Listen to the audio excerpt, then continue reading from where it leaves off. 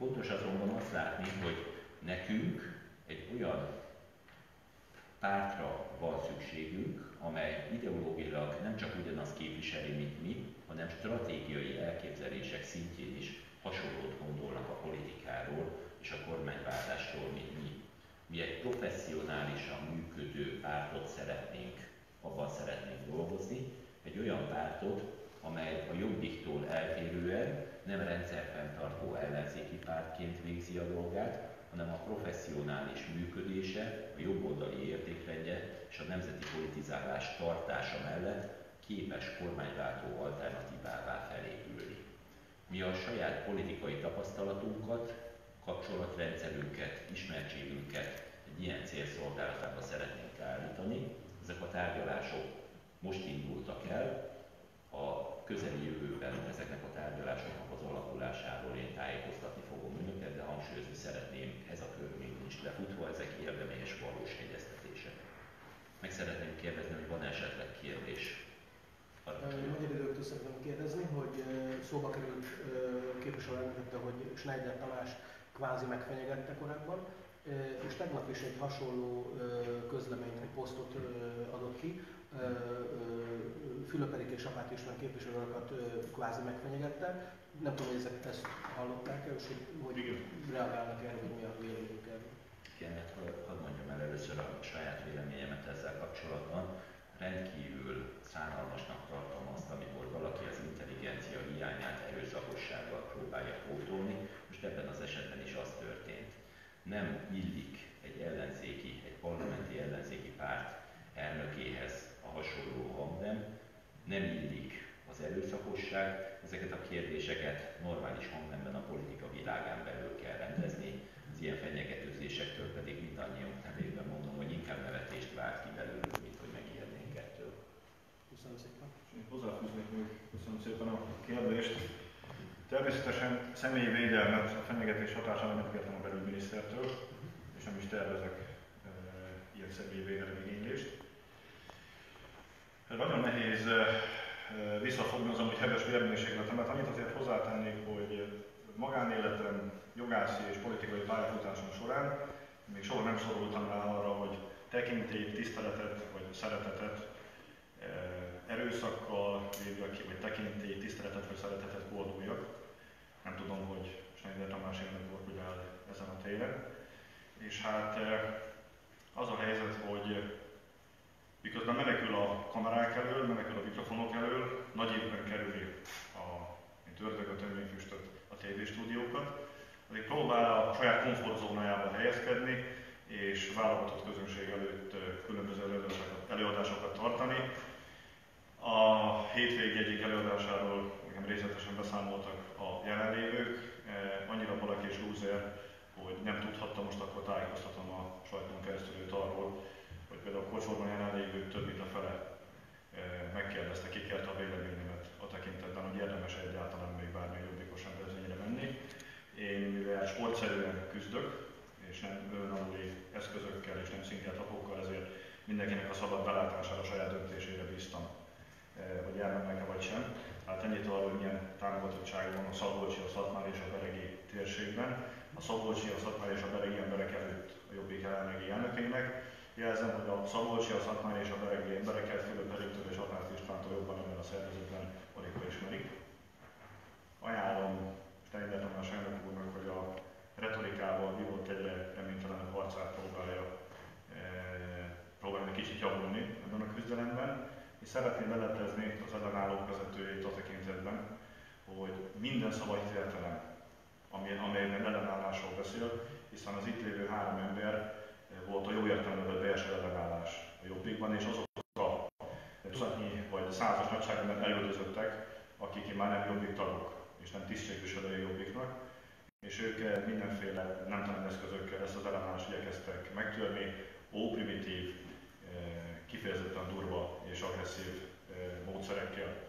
Eh, Schneider Tamás ennek a tegnap is sikerült egy hazugságon Ilyen módon megalazottnak látom azt a kijelentést, olyan messze laknak, mint amennyit hazudozik, akkor sose jönne haza. ígérte az Index egyik újságírójának kettő héttel ezelőtt, hogy az első adandó alkalommal a szemébe mondja Orbán Viktornak a tolvaj. Tegnap ez az alkalom elérkezett, egyszer egy időben volt az ülésteremben a Jobbik elnöke és a miniszterelnök, és hát Schneider Tamásnak inába szállt a bátorsága, úgy tűnik, hogy valahogy nem akaródzott neki sem a kettő, sem az egyperces felszólalás jogával élni, és nem merte betámadni Orbán Viktor miniszterelnököt. Miközben a jól fizetett komfortzónájából a biztonságra helyez magát, nem mer konfrontálódni, de teljesen végtelen pártagoktól elvárja, hogy fújkálós, matricaragasztós akcióban tegyék kockára egzisztenciájukat, munkahelyüket, fizetésüket. Ez ám a dolog bátorsága, ezúttal is idézőjelbetéve, ironikusan és színikusan gratulálok ez a fajta bátorsághoz jobbik jelenleg még hivatalban lévő elnökén. Mészáros Katalmány híradó, ha már itt tartunk, röviden a véleményük Schneider Tamás október 23-ai fellépéséről az ellenállásról tartott beszédéről. Azt hiszem, hogy ezzel meg is válaszoltam, anélkül, hogy e, tudhattam volna, ismertettem volna a kérdését. Hát szavakban nagy ellenálló, szavakban persze könnyű, beszélni fekve is lehet, a papíron sok mindent elő szokták mondani, de amikor a tettek mezére kellene lépni, mint például kellett volna tegnap a délutáni órákban Orbán Viktorral szemben, Eh, akkor, akkor valahogy meggondolta magát. Tehát szerintem sokkal jobb ajánló inkább nem mondana semmit, mert nem tenne felelőtlen ígéreteket, ezzel saját magát is ajánlatja, és a jobbik még maradék nap, napon napra feliratkozó hitelességét is eh, rontja. E, teljesen egyértelmű, hogy olyan vezetői vannak jelenleg a jobbiknak, és ez alatt értem egyébként Gyöngyösi Bártman elnök helyettes urat is, akik a kontraszelekció termékei, ők maguk a kontraszelekció, amelynek ugye az a lényege, a, a természetes szelekciónak az lenne a lényeg, hogy a dzsungel legéletképesebb egyedei maradnak életben, illetve rendesen nem vezetnek egy közösséget. A kultúrszelekció, amikor e, pontosan ennek az ellenkezője következik be, és hát mindaz, amit látunk, akár hogy látunk október 23-án, az erőtlen kislányos próbálkozás, persze egy férfias álcagúnya mögé bújtatva, az ennek a következménye, és ennek lesznek a következményei a következő időszakok bénázása is. Ettől tartok. Szilárdi György. Hadd egészítsem még ki, hogy hogy látom én ezt a kérdést egy pár szóval. Én most úgy látom, hogy a Jobbik elnöksége azt az utat választotta, hogy megpróbálnak úgy ellenállónak föltűnni a közvélemény szemében, hogy igyekeznek a rendőröket addig provokálni, amíg el nem viszik őket és elő nem állítják őket. Meg különböző módozatait láthatjuk, a tojásdobálás már megtörtént, most számos olyan akciót fognak elkövetni, amivel igyekeznek áldozattá válni és kiprovokálni a rendőrökből azt, hogy elvigyék őket. Én azt látom, hogy normális esetben egy forradalom az emberek lelkesedésből egy valós társadalmi igényből fakad, nem pedig fizetett alkalmazottakat rendel ki egy pártelnöksége annak érdekében, hogy meglegyen a létszám egy tüntetéshez, és nem a pártigazgató szokta egy forradalom idején osztani a parancsot a tojásdobáláshoz sem. Szilágyi pártás azt mondta folyosón, hogy önök hazudnak, illetve hogy szó sem volt fenyegetésről. Ezt csak mellékesen mondom, sajtót én nem tudom, olvasták most arról cikkeznek, hogy Szilágyi György egyébként egy több milliós ajándékutat fogadott el a Riói olimpiára. Ezt a Budapest 2024 Kft. fizetés, egyébként pedig a vagyon netkozetában egy ingatlan sincs feltüntetve. Tudnak-e ilyen esetről, mennyire ismerik ezeket a köröket, hallottak erről, elképzelhető, hogy ez valóban így volt? Szilárdi Györgyöt érthető módon érzékenyen érintik a mi közléseink, hiszen én magam mutattam rá, hogy Szilárdi György se is maga is részt vett a Jobbik tojás dúváló akciójában, és a párt fizetett alkalmazottjaként ismertük meg az elmúlt években, itt tehát az ő személyes foglalkozásának tudom én ezt be. Személyes útjait nem szeretném kommentálni. Tehát erről? Nem tudok róla, én is kíváncsian olvastam, de nem szeretném kommentálni. Ugye a magánéleti szférát azt érintetlenül hagyjuk, a jövőben sem fogunk ezzel foglalkozni, de hozzáteszem, hogy mások lehet, hogy meg fogják helyettünk is tenni. Nagyon sok embert ezzel az árulással, amit végrehajtottak, és azzal a hatóság cunamival, ami az elmúlt egy hónapot jellemezte a jobbik vezetésének részéről magukra haragítottak, és egyre több olyan emberrel találkozom, akinek konkrét információi vannak a jobbik jelenlegi vezetéséről, és ezt a ki fogják borítani az emberek. Én pedig most már nem fogom a tekintélyemet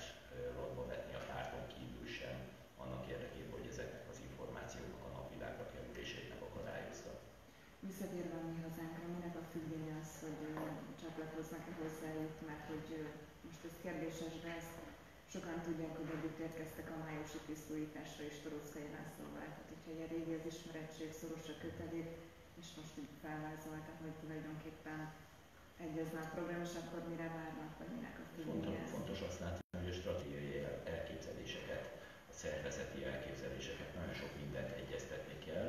A Jobbiknál például a meghirdetett célok tekintetében nem volt köztünk eltérés, nem volt ebben az ügyben feszültség. Aztán kiderült, hogy a meghirdetett céloktól brutálisan eltért a párt politikája, és a mi hazánk mozgalommal folyó tárgyalásai során azt igyekszünk tisztázni, hogy ezek a stratégiai elképzelések egybevágnak-e a mi elképzeléseinkkel, a szervezeti elképzelések egybevágnak-e ezzel, illetve nagyon fontosnak tartjuk azt is, hogy egy olyan párthoz szeretnénk csatlakozni, amiben benne van a kormányváltás lehetősége, ami professzionális munkavégzéssel, magát magas szinten szervezve eljut odáig, hogy váltópárt lehessen. És még egy kérdés az anyagi vonatkozóan, amikor nyáron ugye ismét szóba került az ázbírság, az a kampány, amire elméletileg nem tudják, tehát hogy mire költötték a pénzt, akkor azt mondta nekem júliusban, hogy tehát nem cáfolta azt, hogy a helyi szervezetekből begyűjtött pénzt is a kampányra fordították. És akkor azt mondta szó szerint, hogy az ázbírság az egy olyan óriási összeg, ami meghaladta az éves költségvetésüket, és hogy nagyon komoly takaros, takarékossági intézkedésekre került sor. Mire fordították tehát ezt a pénzt? Ezt mi is szeretnénk tudni. Hozzáteszem, hogy a közelmúltban emelték meg a párt, a párt alapítvány és a frakció támogatását is, költségvetési támogatását is jelentős mértékben. Mi sem látunk ebben az ügyben tisztán. Ugyanúgy, mint amikor a párt külpolitikai kapcsolataitól tájékoztatást kértem, hivatalosan elnökségi tagként a párt alelnökeként, akkor arra sem kaptam tájékoztatást. Értelmszerűen volt is mit titkolni, hiszen kiderítettem azt, hogy különböző soros györgyös kötődő emberekkel tartott a jobbik vezetése kapcsolatot. Amikor a párt anyagi jellegű kérdését igyekeztem tisztázni, ebben is elzártak az információktól minket. Ez gyakorlatilag egy belvonás törekvése volt Vona Gábornak, a korábbi pártelnöknek és Szabó Gábornak a pártigazgatónak. Egy nagyon szűk mag döntött ezekről a kérdésekről. Mi is szeretnénk még egyszer hangsúlyozom tisztán látni. Szene Népszava. Visszatérve kicsit az ász büntetéshez, elsősorban Volner Jánost kérdezem, hogy így utólag jogosnak tartja az ász által kiszabott, kiszabott hát több mint 600 milliós büntetést. Ez az egyik kérdésem. A másik pedig, hát korábban meglehetősen keresetlen szavakkal illette a Fideszt azzal kapcsolatban, hogy próbálták önt megzsarolni. Ez két évvel ezelőtt történt, most pedig hát abszolút feltételezésnek tartja, hogy az ön kilépése, kizárása mögött a Fideszes akció állna. Kérdezem, hogy ez a, ez a kétféle vélemény hoz, hogy hozható összhangban. Mondjam, mert szerintem úr, én szánalmat tartom azt, hogy a jobbik elnöksége különböző összeesküvés elméleteket gyártott arra vonatkozóan, miért lett elegünk abból a borzasztóból a politikásról. Összeesküvés elmélet szerint engem megvett a Fidesz, a másik szerint megzsarolt a Fidesz, a harmadik szerint az Európa Parlament ambíciói nem teljesültek, a negyedik szerint egyszerűen egy náci vagyok, aki nem fér meg a néppártosodással, ezt sorolhatnám, szerintem a nevetségesség kategóriáit súrolják ezek a kijelentések, nem is érdemes ebbe különösebben belemenni.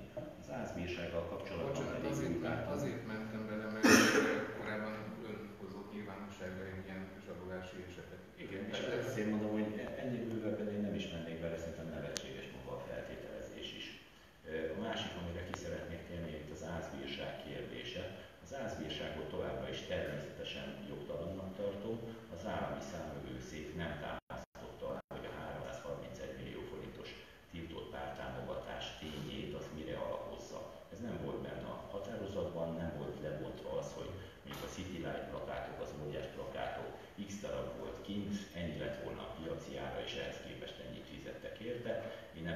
pártok kellő megalapozottságot, ezért ezt a rendkívül nagy összegű bírságot, ami a Jobbik akkori éves támogatásának összegét valóban meghaladta a bírság és a tiltott pártfinanszírozás együttes összege. Én ezt egy jogtalan dolognak tartom. Ugyanakkor viszont az is igaz, hogy ezekben a pénzügyekben, amit itt említettem is újságírói kérdésre, továbbra sem látunk tisztán. Még egy kérdésem lenne vissza tud emlékezni arra, hogy ez a bizonyos sokat emlegetett balratolódás mikor kezdődött? 2016-ban vettük észre azt, hogy vonagában egy nagyon erős szándék fogalmazódott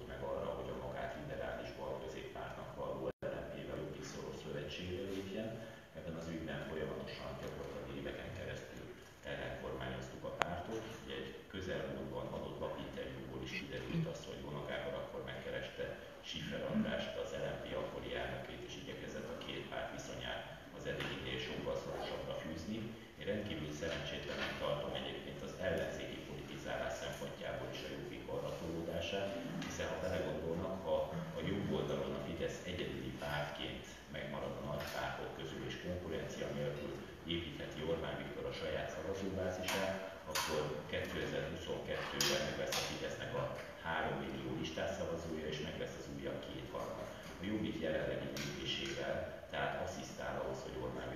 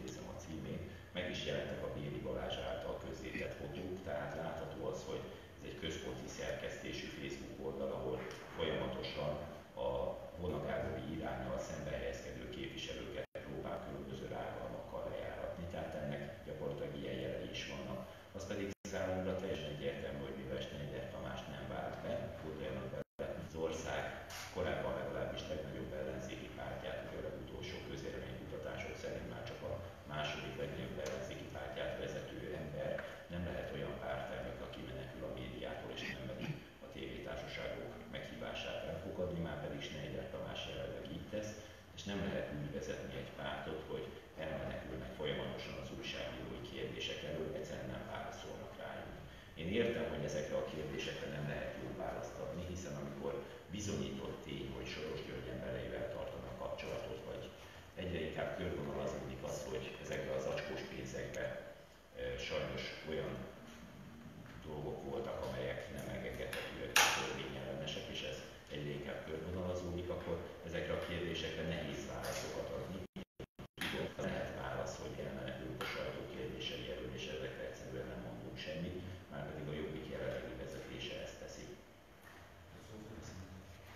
Csányi Nikolet hvg.hu a Jobbik második embereként mikor szerzett tudomást ezekről a kétes pénzügyi esetekről, illetve eddig miért nem hozta ezeket nyilvánosságra, a tudott róluk?